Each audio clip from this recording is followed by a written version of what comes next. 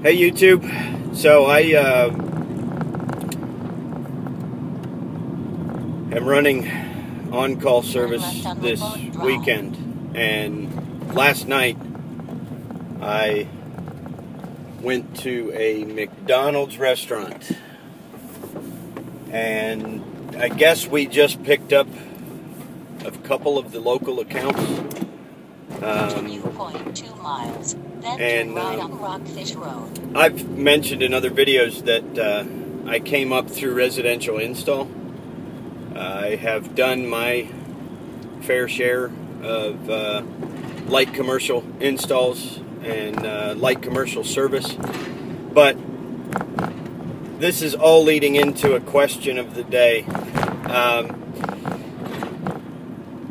Turn right I have run into multiple systems in the residential side that I've never seen before. Uh, strange applications or different brands. And in the residential side of the industry, um, I'm going to just start saying in residential, uh, the systems are all basically the same. I'm not saying that commercial units are not sa- the same as far as basic functionality and control for the most part, but every time I've run across something I've never seen before, um, actually, the first time I ran across a geothermal, I simply smiled and nodded when the customer was telling me what the problem was, and then started with what I knew and continued until I ran into something that didn't make sense or something that wasn't working. And so, my question is what is your response when you end up at a call with a system you've never seen or don't know everything about? You know, your basic Goodman air handlers, your basic Lennox, Carrier, Trane, American Standard, Amana, all of those systems are integrally the same. They just have different stickers on them. Um, they've all got contacts, relays, and circuit boards, motors, capacitors, uh, stuff like that. And so when I got to the McDonald's last night, uh, they said that the dining room system was not cooling, and they um, pointed me to the ladder to the roof access, and I grabbed my gear and climbed up.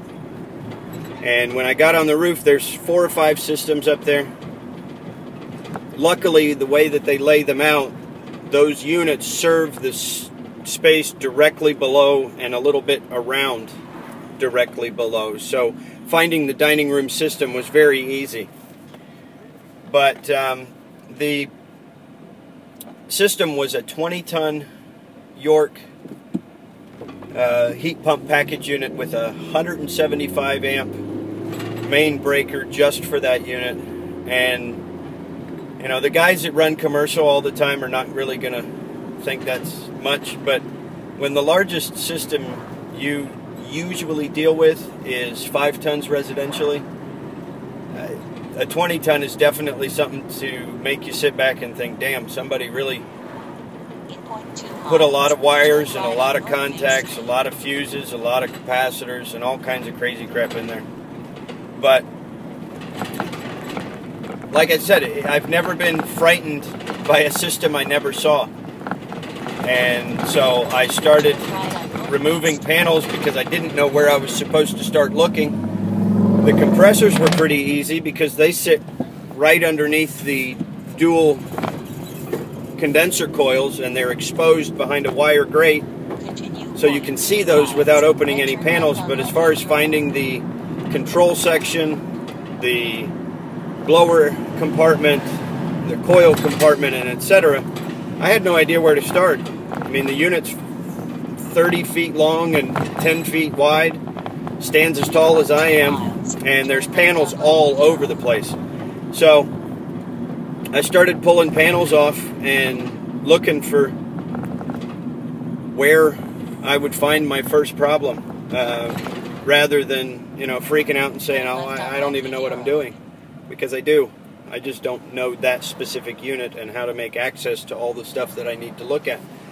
Um, interestingly enough, the first panel I opened up is actually part the, the panel that exposed the, the biggest part of the issue as to why it wasn't cooling. And um, I will splice in my picture here.